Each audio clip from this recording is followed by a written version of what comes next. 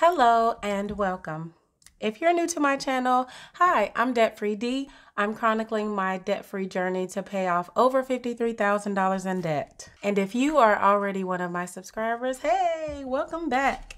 I hope you're having a great day today. In one of my last videos, my All the Updates video, I talked about creating a tracker for my TD credit card. So I went ahead and created an interest tracker, but I was still on the fence as to whether or not I would create a tracker for payments and balances like I've done before. A little while ago, I thought of a great visual for a tracker, not even realizing that it would work perfectly for this TD credit card. So I am excited about this tracker in particular because it speaks to the nostalgia of childhood, and that is to create a tracker with a visual themed after Tetris. Yes, Tetris. I love it. So in today's video, I will be using the Happy Planner dot grid paper along with various pens and markers. So Tombow markers, Crayola crayons, some Pentel Energel pens. I will link these in the description box if you want to check them out for yourself. So let's get started.